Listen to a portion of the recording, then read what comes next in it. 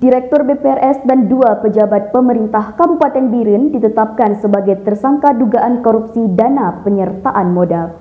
Tim penyidik Kejari Biren berhasil mengumpulkan barang bukti kerugian negara sebesar 1 miliar lebih. Kejari Biren menetapkan tiga tersangka dugaan korupsi dana penyertaan modal pemerintah Kabupaten Biren tahun anggaran 2019 dan 2021 pada PT Bank Pembiayaan Rakyat Syariah.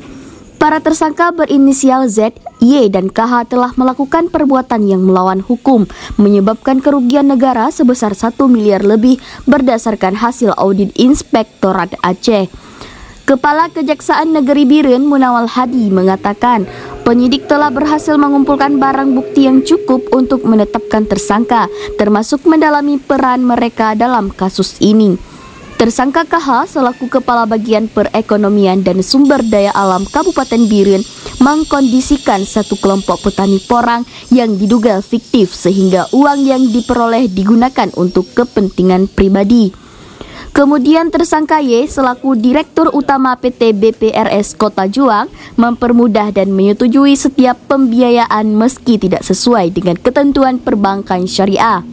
Sementara tersangka Z selaku Kepala BPKD Kabupaten Biren sebagai pengusul dan mencairkan dana penyertaan modal pada 2019 sebesar 1 miliar rupiah dan pada 2021 500 juta rupiah.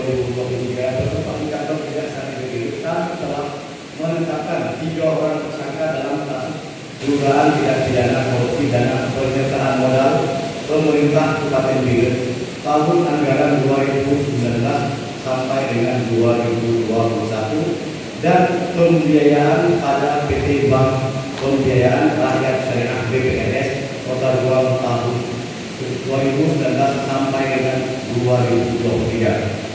Munawal menambahkan dalam perkembangan penanganan perkara dugaan korupsi tidak menutup kemungkinan adanya tersangka lain berdasarkan alat bukti.